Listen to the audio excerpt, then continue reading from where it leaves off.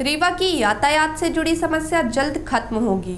RTO विभाग के काम में और पारदर्शिता लाई जाएगी। जनता को जल्दी राहत तय, सीमा में काम करने पर ज़ोर दिया जाएगा। कहा नवागत, आरटीओ ने रीवा दर्शन से बातचीत में। देखिए बातचीत के प्रमुख अंश। नमस्कार दर्शकों। आज हमारे साथ मौजूद हैं एक ऐसी खास शख्सियत, जिनके बारे में हम वो क्या करते हैं, उनका क्या प्रोफेशन है उसकी बातचीत थोड़ा बाद में करेंगे। पहले मैं आपको बता दूँ, रीवा शहर में आवागमन को लेकर कहीं सड़कें खराब हैं, कहीं गाड़ियाँ बहुत ज़्यादा हैं, आपका ताल्लुक इन्हीं विभागों से है। जैसा कि मैं आपको बता दूँ, हमारे साथ जो मौजूद हैं, वो हैं रीवा के नवागत आरटीओ संतोष पाल जी। संतोष पाल जी आपका स्टूडियो में बहुत बहुत स्वागत है। धन्यवाद जावेद जी। मैं आपको बता दूँ आप इसके पहले इंदौर नरसिंहपुर सिवनी मंडला छिंदवाड़ा जबलपुर यूँ कहा जाए कि आधे मध्य प्रदेश को घूम के नज़दीक से देख चुके हैं। आज आप रीवा में हैं हम उनसे जानेंगे रीवा उनको कैसा लगा। सर्वप्रथम तो जावेद जी, मैं आपको बहुत बहुत धन्यवाद देना चाहता हूँ कि आपने मुझे रीवा दर्शन में बुलाया। ये सौभाग्य मुझे मिला। इसके लिए आपका बहुत बहुत शुक्रिया। जहाँ तक आपके प्रश्न का सवाल है कि रीवा कैसा लगा? रीवा मुझे दिलदारों का शहर लगा। पहली बात तो मैं ये बोलूँगा। हालाँकि मुझे आए हुए अभी चंद दिन हुए हैं। आठ तारीख को मैंने ज्वाइन किया था। आठ तारीख से आज सोलह तारीख हो गई है। करीब आठ नौ दिन हो गए आठ नौ दिनों में मैंने ये पाया कि भ्रांतियाँ कुछ ज़्यादा हैं ज़मीनी स्तर पर बात कुछ और है। लोग अच्छे हैं, काम करना चाहते हैं, इस ज़िले को आगे बढ़ाना चाहते हैं।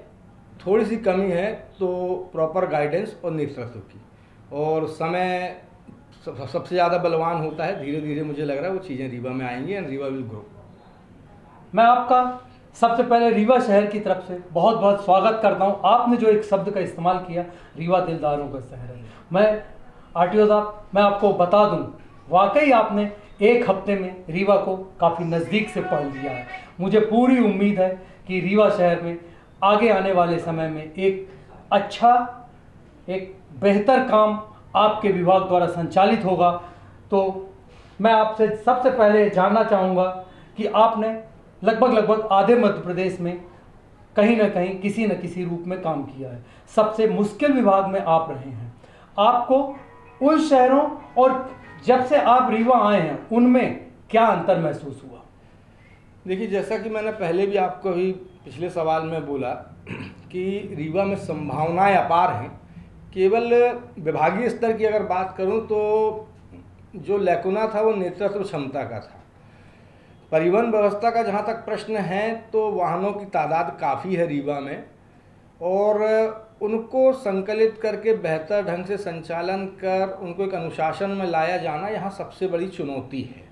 ये मुझे फ़र्क महसूस हुआ अन्य ज़िलों में और रीवा ज़िले में।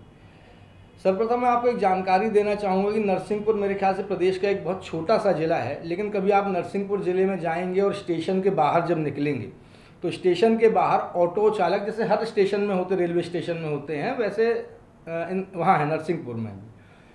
वहाँ पर जब हम गए थे तो बड़ी अव्यवस्था का आलम था। पूरे ऑटो यहाँ वहाँ स्टेशन के सामने फैले होते थे और स्टेशन से जो सवारियाँ ट्रेन से उतरती थी, वो बाहर आती थी प्लेटफॉर्म से तो हाथ पकड़ पकड़ के महिलाओं को आइए बैठिए आइए बैठिए करके ऐसी बात की जाए फिर वहाँ के तत्कालीन कलेक्टर महोदय, एसपी महोदय के साथ हमने सबकी बैठक कराई और आज आप, अगर आप नरसिंहपुर स्टेशन पर उतरेंगे और जब बाहर जाएँगे तो आपको ऑटो वालों की एक लाइन मिलेगी। एक के पीछे, एक के पीछे एक ऑटो लगी रहेगी। जो सवारी पहले आएगी, वो पहले नंबर की ऑटो में बैठेगी, वो ऑटो चलेगी, उसके बाद दूसरे नंबर की ऑटो में बैठेगी। मतलब ये नहीं कि वो ऑटो आगे लेके अपना आ जाए और मेरी ऑटो में बैठ जाओ। ये वाली चीज़ वहाँ पर नहीं होती। तो मेरा ये प्रयास रहेगा कि ऐसा कुछ डिसिप्लिनड चीज़ें यहाँ पर हो जाएँ, जिससे कि जब मैं यहाँ से जाऊँ तो एक यादगार रह जाए कि यार फलाने आरटीओ साहब आए थे तो ये चीज़ दे के गए हैं शहर मतलब ये माना जाए कि यहाँ पर की जो सबसे मुश्किल समस्या थी जिसके बारे में आपसे आगे बात करना चाह रहा था आपने उसको प्रारंभ में ही कहा और सबसे हम मेरे ख्याल से दस दिन में ही आपने इस बात को पकड़ लिया कि यहाँ पर सबसे ज़्यादा अव्यवस्थित ऑटो की व्यवस्था है। तो सबसे पहले ये माना जाए रीवा शहर एक व्यवस्थित शहर के रूप में आपके कार्यकाल में नज़र आए। प्रयास प्रयास बिल्कुल यही रहेंगे कि एक अच्छी व्यवस्था बनाई जाए और हित दोनों के प्रभावित हों ना हों जिनसे आपके जैसे विभाग में भी काफ़ी अव्यवस्थाएँ हैं। जहाँ पर काम कराने वालों की काफ़ी भीड़ होती है, समय पर काम नहीं होता तो आपकी नज़र क्या उस तरफ़ भी रहेगी? निश्चित तौर पर जिस दिन मैं पहले दिन रीवा के आरटीओ दफ्तर में आया तो मुझे कहना तो नहीं चाहिए, लेकिन अजीब सी फीलिंग महसूस हुई कि ये दफ्तर जैसा नहीं लग रहा था एक्चुअली वाहन बेतरतीब, खुद आरटीओ दफ्तर में वाहन इतने फैले हुए खड़े थे कि गाड़ी जाने की जगह नहीं है जगह जगह पान के पीक पड़े हुए हैं। देख के कुछ अच्छा नहीं लगा। तो और पूरे में मतलब अवांछित लोगों की थोड़ी सी जमघट सी वहाँ मुझे महसूस हुई। अब प्रयास शुरू हो गए हैं धीरे धीरे जैसे अगर आप कभी जबलपुर दफ्तर जाएँगे तो वहाँ बाहर ही एक बहुत बड़ा बोर्ड लगा हुआ आप देखेंगे कि आपको किसी भी बाहरी व्यक्ति से मिलने की कोई आवश्यकता नहीं है। आप सीधे संबंधित विभाग में संपर्क करें, अपने दस्तावेज़ जमा करें और शासकीय शुल्क जमा करके अपना काम कराएँ। मेरा प्रथम प्रयास यही रहेगा कि आम जनता से सीधे, वाहन स्वामी से सीधे लाइसेंस जिसको चाहिए उससे सीधे जिसको अपने वाहन का पंजीयन कराना है, उस व्यक्ति से हमारे रूबरू संपर्क हों। मध्यस्थ की हमें आवश्यकता ना पड़े। आम, आवाम का पैसा है, बड़ी मेहनत की कमाई है वो जो सरकारी शुल्क है, वो सरकारी शुल्क जमा करे व्यक्ति स्वयं आए और अपना काम कराए। किसी प्रकार की भ्रांति उत्पन्न ना होगी। इस काम का इतना पैसा लगता है आर ऑफ़िस में, इस काम का इतना पैसा। जो शासकीय शुल्क है, आवेदक स्वयं आ जाए, वाहन स्वामी स्वयं आए, अपना काउंटर पर एम पी ऑनलाइन के माध्यम से, आज तो शासन ने पूरी व्यवस्थाएँ एम पी ऑनलाइन के माध्यम से कर दी है तो एम पी ऑनलाइन के माध्यम से निर्धारित शुल्क जमा करके सीधे अपना वाहन लाए। किसी भी फालतू बाहरी तत्वों से मिलने की आवश्यकता नहीं और अपना काम सीधे करें। दर्शकों नए आरटीओ की पहली एक आपके लिए सबसे बेहतर घोषणा कहा जा सकता है। आप डायरेक्ट जाइए, संबंधित विभाग में जाइए, अपना काम कराइए, शुल्क जमा करिए, निर्धारित समय पे आप अपना काम लीजिए। चलिए, सिलसिले को आगे बढ़ाते हुए आपसे हम जानना चाहेंगे कि महिलाओं को लिए, खासकर आपके विभाग में महिलाओं के लेकर काफ़ी दिक्कतों का सामना करता, करना पड़ता है। वो जब विभाग में जाती हैं तो उनको ना बैठने की जगह होती है, ना खड़े होने की जगह होती है, ना अपना वाहन ठीक से खड़े करने की जगह होती है। उनके लिए आप क्या सोच रहे हैं बिल्कुल निश्चित तौर पर आपने सही कहा कि कम से कम रीवा दफ्तर में तो ये स्थिति है कि पुरुषों के लिए जगह नहीं है, महिलाओं की क्या है? तो आपकी जानकारी के लिए बताना चाहूँगा कि ज्वाइन करने के तुरंत बाद, माननीय कलेक्टर महोदय से मेरी बात हुई। और माननीय मंत्री राजेंद्र शुक्ला जी से भी मेरी भेंट हुई उस संबंध में चर्चा हुई है। अभी हम बहुत जल्द ही अपने नवनिर्मित भवन में शिफ्ट होने जा रहे हैं।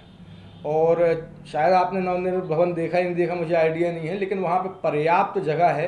बहुत शानदार बिल्डिंग, बहुत ही खूबसूरत बिल्डिंग शासन ने बनाई है, ज़िले के मतलब प्रदेश के हर ज़िले में बनाई है। और इसमें जो है महिलाओं के लिए पृथक बैठने की व्यवस्था रहेगी, विकलांगों के लिए अलग व्यवस्था रहेगी हर एक सेपरेट काउंटर रहेगा। साथ ही साथ हमारे माननीय मुख्यमंत्री के द्वारा और परिवहन मंत्री जी के द्वारा महिलाओं के लिए निशुल्क लाइसेंस की व्यवस्था लाइसेंस ड्राइविंग लाइसेंस की व्यवस्था की गई है। लर्निंग लाइसेंस हो, चाहे परमानेंट लाइसेंस हो, कोई भी महिला आवेदक अपना एमपी ऑनलाइन के माध्यम से आवेदन करके निशुल्क, उसमें इनको कोई भी फ़ीस नहीं देनी है और वो निःशुल्क आवेदन करके कार्यालय में उपस्थित होकर अपना लाइसेंस बना सकती हैं। मैं अपने दर्शकों की तरफ़ से एक सवाल है। बहुत सारे लोगों को ये नहीं मालूम होती कि शासन की नई योजनाएँ कौन सी आई हैं, उनका क्रियान्वयन कैसे होता है, इसके बारे में ज़रा हमारे दर्शकों को कुछ बताएँ निश्चित तौर पर आप सही कह रहे हैं कि रेड टेपिज्म और ब्यूरोक्रेसी के कारण ये चीज़ों का व्यापक प्रचार प्रसार नहीं हो पाता है।